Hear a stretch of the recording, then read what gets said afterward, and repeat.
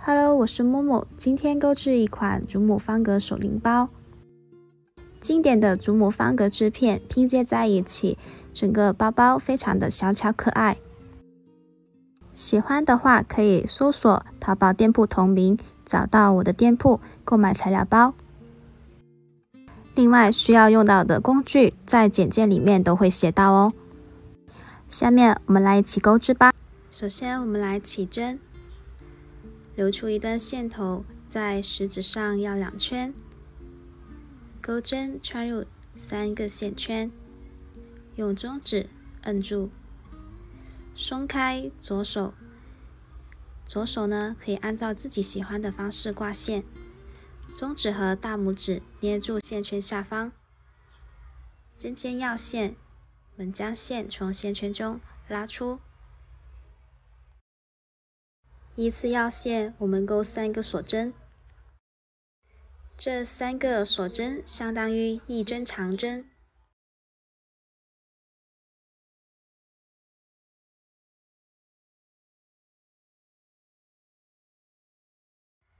在第三个锁针的地方做个标记。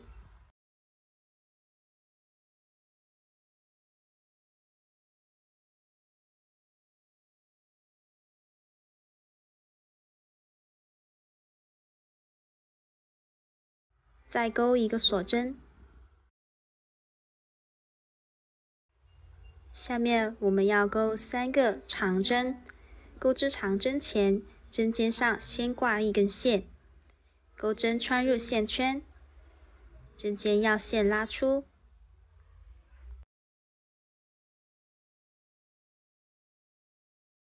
要线从前两个线圈中拉出，再一次要线。从后两个线圈中拉出这一针长针就完成了。重复同样的动作，我们接着完成两个长针。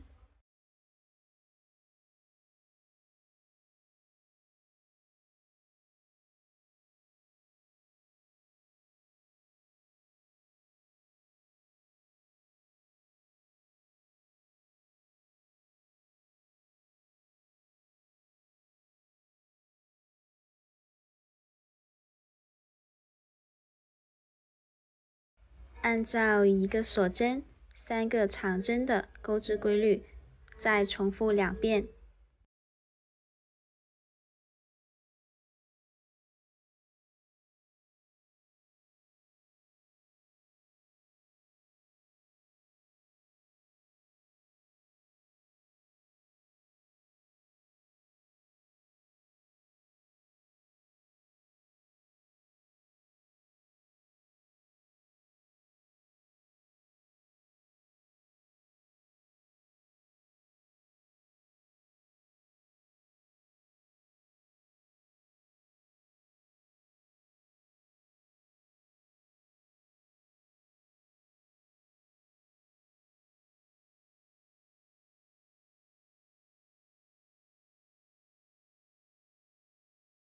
钩一个锁针，前面的三个锁针相当于一针长针，那最后一组花样，我们再给它补上两个长针，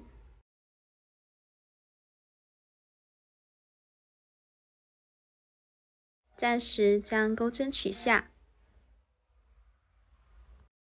拉动开始的线头，找到可以被拉动的第一个线圈。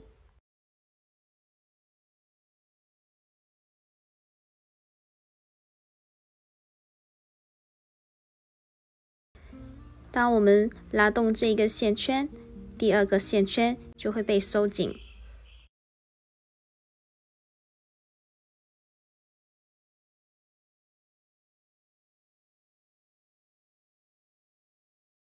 重新拉动线头，将所有的线圈收紧。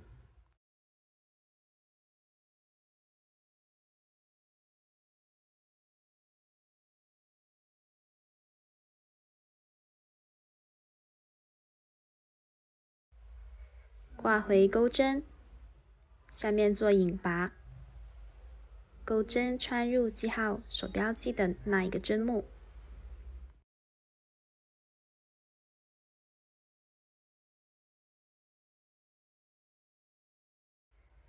取下记号扣。绕线将线从所有线圈中拉出。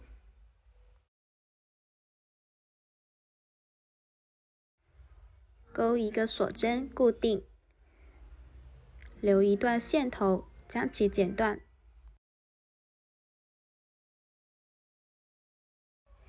第一圈我们就完成了。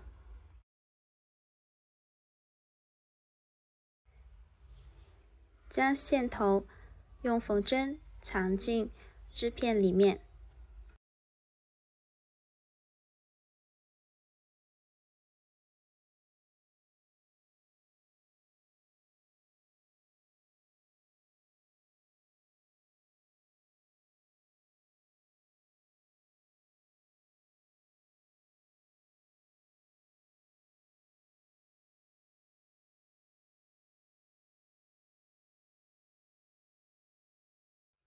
钩针穿入任意锁针的下方，取出新线，针尖绕线拉出，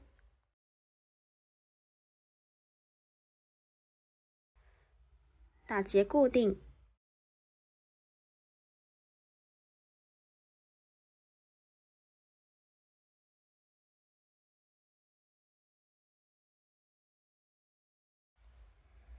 依次要线钩三个锁针。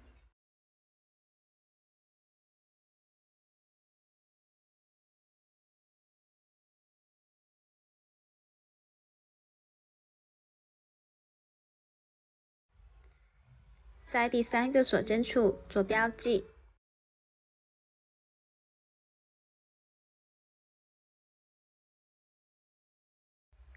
钩一个锁针，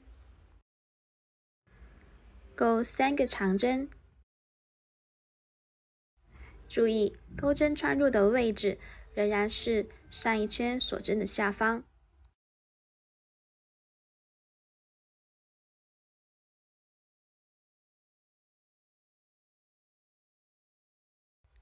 背面的线头始终挂在钩针上方，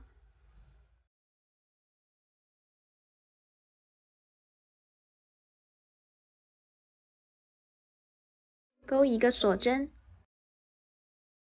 找到下一个锁针，在下方入针，线头始终挂在钩针上，钩织三个长针。一个锁针以及三个长针。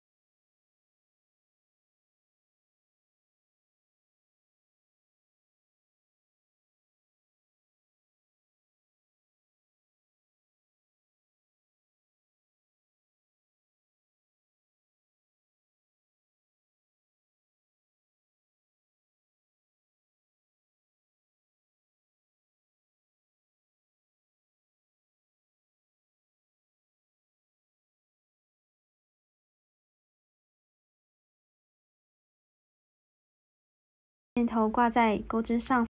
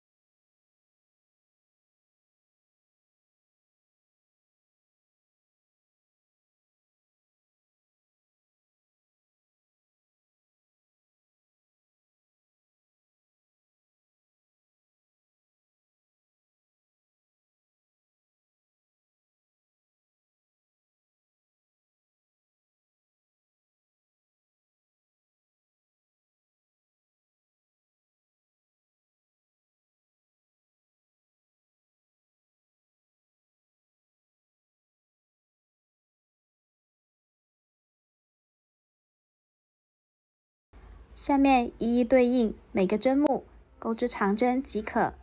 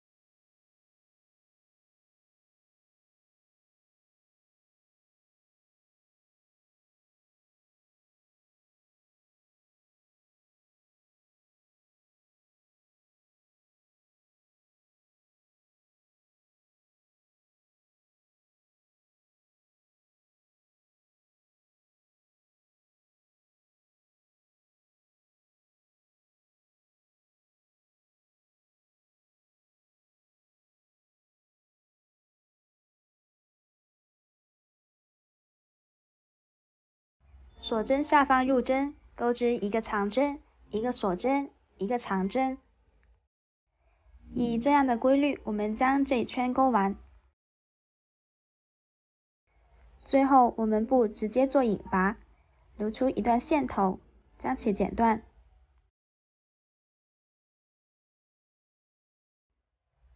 线头穿过缝针，在标记的旁边的第二个针目。穿过针，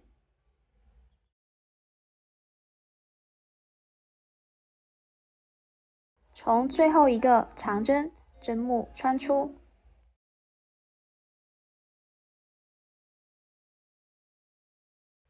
可以看到这里形成了一个新的 V 字针目。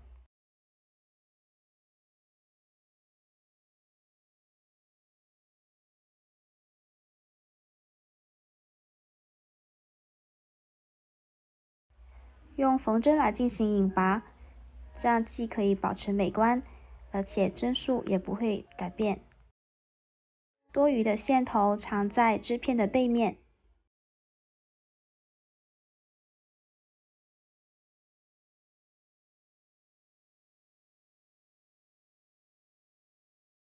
任意挑起附近的数丈针目，将其隐藏就可以了。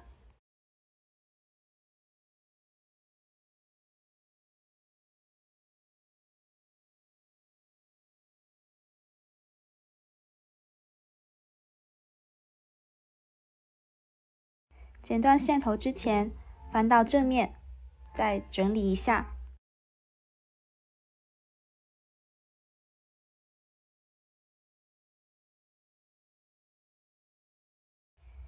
这样，我们第一块织片就完成了。下面我们要进行织片的拼接缝合，一共钩织十三块花样织片。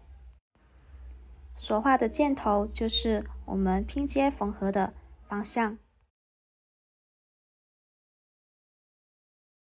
在我右手边的是第一块织片，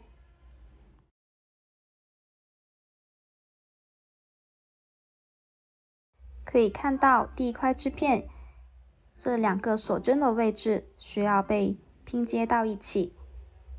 我们用记号扣来做一下标记。任意选择同一条边上的两个锁针。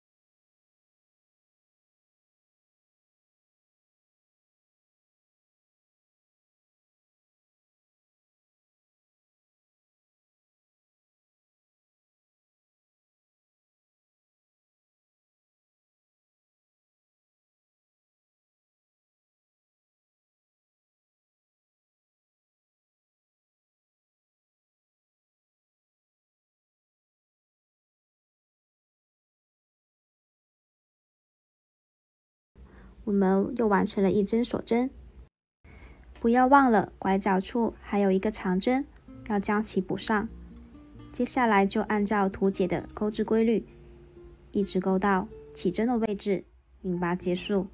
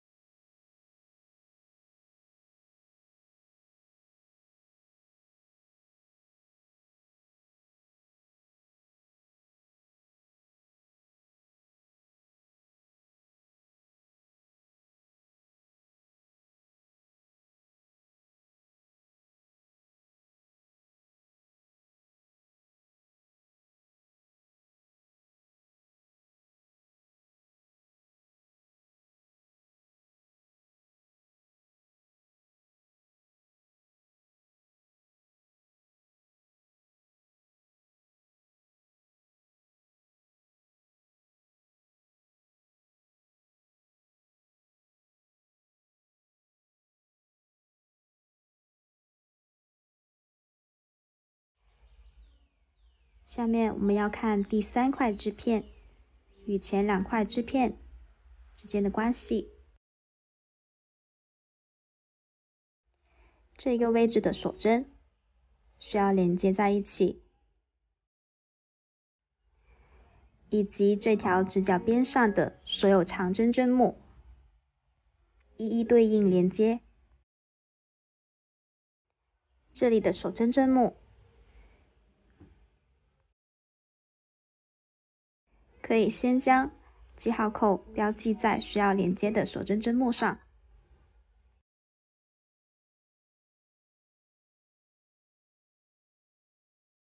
这个锁针对应第一个标记，这个锁针对应第二个标记，这个锁针对应第三个标记。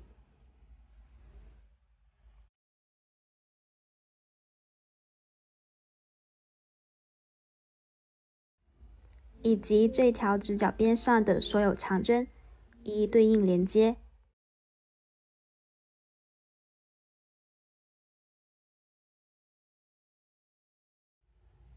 起针位置以及钩织规律一样。